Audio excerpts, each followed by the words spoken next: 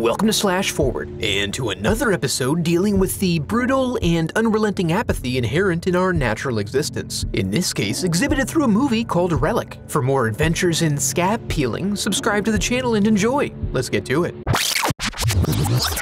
We open on a bathtub overflowing, spilling its contents down the stairs and creeping toward the naked feet of an elderly lady who's become distracted by the hypnotic blinking lights of the Christmas tree. Then we transition to Kay and her daughter Sam, traveling out to Grammy's home as we hear a voiceover phone call from a concerned neighbor who hasn't seen Edna for several days. They arrive and venture in via the doggy door and are disturbed when they get no response and find rotten fruit in the kitchen. Given the likelihood of stumbling across a bloated corpse, Kay has Sam wait in the hallway as she investigates the bedroom, but she whips back the covers and finds nothing. Sam hangs back at the house while Kay goes to make a report with the local police, and we learn the flooding incident from the opening was from one year prior. Then, as they work to build out a timeline for what may have happened to Edna, Kay is forced to admit that she hasn't checked in on her for several weeks. Meanwhile, Sam finds a closet with a lock on it and pushes her way in to grab some fresh linens. While in there, she's momentarily disturbed by some moving plastic, but this turns out to be nothing, just our minds playing games again. So they spend their time cleaning and keeping busy while in a state of utter confusion and helplessness. The next day, the search party commences, combing the nearby woods looking for Edna. This is capped off by another another evening of cleaning and coping.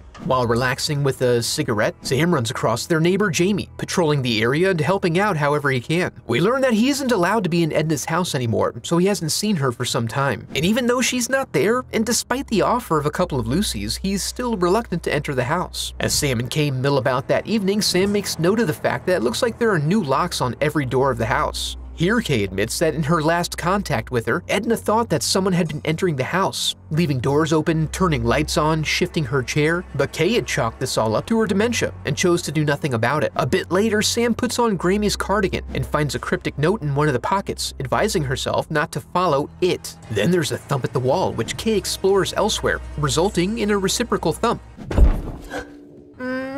be the pipes. When we find Kay next, she's in Dreamland, approaching a dark cabin and finding it contains the desiccated remains of a helpless individual. The disturbing thought sends her to Sam's room where she snuggles up, foot to face. After they settle in, the lights pulse, and we see they're being visited in their bed by an unknown party. Then Kay wakes up to the sound of the kettle on the burner, and she wanders in to find her mom, now returned, but unable to provide any details as to where she's been or what she's been up to. Soon we find her getting checked out by a nurse, and the police are notified of the new development. She appears to be in relatively good health with a sharp memory, but also has a concerning bruise on her chest, resulting in a recommendation that she be watched for the next few days. And then when Kay is making arrangements to be off work for a bit, she finds a blood-stained nightgown. She confronts her mom about this new evidence, using it as a segue into asking where she was again. But old Edna continues to play coy. I mean, a girl's gotta have her secrets after all. That evening, we see that her itchy bruise has developed into a fairly severe hematoma. Now that she's feeling good about being back in familiar surroundings, when Sam brings her some tea, she offers to gift her an old wedding ring since she can't get it over her fingers anymore. Then Sam and Kay spend the evening getting some work done and going through some old memories, including a book that may have been drawn by Grandpa, and it connects us back to the old cabin from her dream. We learn it had been on the property back when it was first inherited, and great grandpappy had lived in the cabin,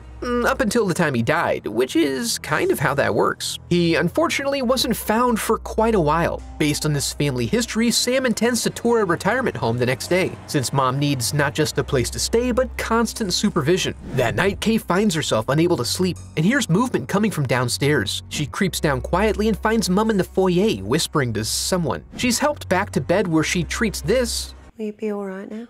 As a loaded question, but she's too distracted to pursue this very far as she claims there's something under the bed. Kay goes in for a closer look and notices a strangely shaped shadow with a hint of movement. But the atmosphere of discovery is broken when she takes a hard back to the head. The next day, we find her taking a tour of the Memory Assist facility and see that this is a step she's still conflicted about despite the circumstances. Sam returns home to find Grammy dancing, and she's drawn into a whimsical dance lesson. After a bit, the music turns morose, and Sam broaches the topic of what happened with her neighbor to try to get a little more context, but she gets brickwalled. So instead, she tries to bring up the idea of coming to live in the house to help out, which would certainly be better than getting carted off to a home. Another strike as Grandma then gets upset by the news that they're considering a home, and she gives her finger the absolute business over getting back the ring she assumes Sam stole from her. Sam then takes a little bath to help ease the pain of coming to terms with the fact that Edna may be beyond her help, and someone comes scratching at her door a bit before moving on. But then later, when they're preparing dinner, she seems to be in a better mood and states her preference to have Sam move in with her if it'll keep her out of the home. Later on, Sam goes to check the floodlights, which seem to turn on at random times, and she notices some mold forming around the window they repurposed from the old cabin. She then goes to find Grams whistling in the mirror, and she reveals that this is where she assumed whoever was entering the house had been coming from. She has a general distaste for the cold, unwelcoming house, but it's all she has left to remember her late husband. In her state of vulnerability, she seems to be softening even further to the idea of having company. However, we see that given the sudden mood shifts and alarming outbursts, Sam is having her own doubts about her ability to administer care. That night, there's another dream about the old cabin. This time, it's Edna who occupies it and is transformed into a moldy stain. Then she wakes up and follows a whispery sound and, despite seeing a shadow, finds the bathroom empty.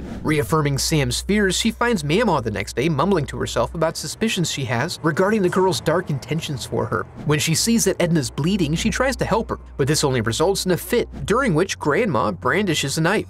So Sam heads over to Jamie's house to talk to his father and see if she can get some additional context around why he wasn't allowed to come over. He confides that Jamie had been over and playing hide and seek when he hid out in a closet upstairs. Edna, presumably by mistake, locked the door, and also presumably forgot they were playing a game and left him in there. When Alex arrived to check on him, he could hear Jamie screaming from across the house, and he wasn't totally sure how you could forget that you were actively hearing someone scream. Back at the house, Kay sees her mom wandering out into the wilderness. She finds her enjoying a little nostalgic treat, and after she pulls the pictures out of her mouth, Edna continues on her way and finds a primo spot where she can bury the photo book, a project she claims is intended to maintain the safety of the book. Then she laments having the cabin window in her house and talks about how it sometimes tries to get at her, making her wish she could bury herself for safety purposes.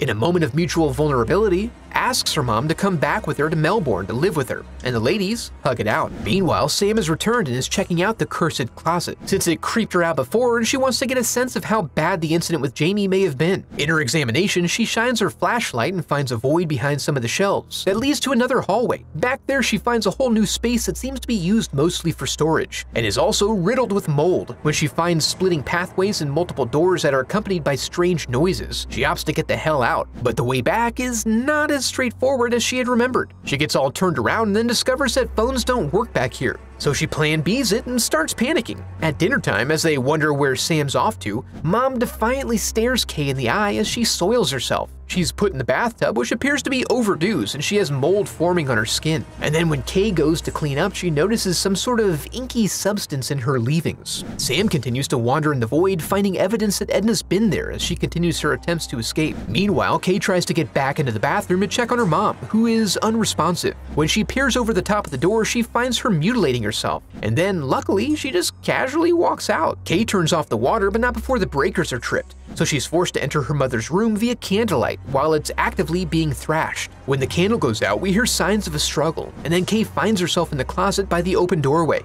Deeper in that space, we find Sam venturing into ever smaller corridors, and see that the creaking and moaning sounds are the house reconfiguring itself. Recognizing that normal rules of social etiquette don't apply here, Sam starts breaking through walls to find a safe spot. Meanwhile, Kay's caught up with her mom, who's crouched down in a corner and, upon closer inspection, appears to be severely damaging her epidermis. At the next junction, Sam finds a hefty pipe and manages to break through what appears to be the backside of the fireplace in the main house, but she pauses momentarily due to sounds of a struggle nearby. She goes to investigate and is warned away by Kay, who says that mom is not mom anymore, so they head back to the hole and get to working on it as Edna slowly pursues them, resulting in a brief game of tug of war into the living room, and then a bit of a lady wrestle that ends with a pipe to the face. Kay then gets an emotional hook in her after glancing back for one last pitiful look. Remembering the fate of her ancestor, she decides that she can't leave her mom to be lost here, only kept company by the creeping mold. She locks Sam out and then carries her mom upstairs and sets her down on the bed. Here, she pauses for a moment to assess her wounds and begins to peel off some of the now unnecessary skin flaps that are hanging off of her. She seems to be part of the 3% of the population that finds this activity addictive because she just keeps on going until she's stripped away the entire facade. This act of kindness seems to have a calming effect as she sits there patiently and quietly wheezes away. Sam then returns having gained access to the house and they lay the matriarch to rest, arranging themselves into a triple spoon situation, from which Sam takes note of the rot now present in her mother. I have a website set up where you can support the channel through donations or merch, and I'd like to take a moment to give a huge thanks to my donors, memorialized in the Hall of Headshots.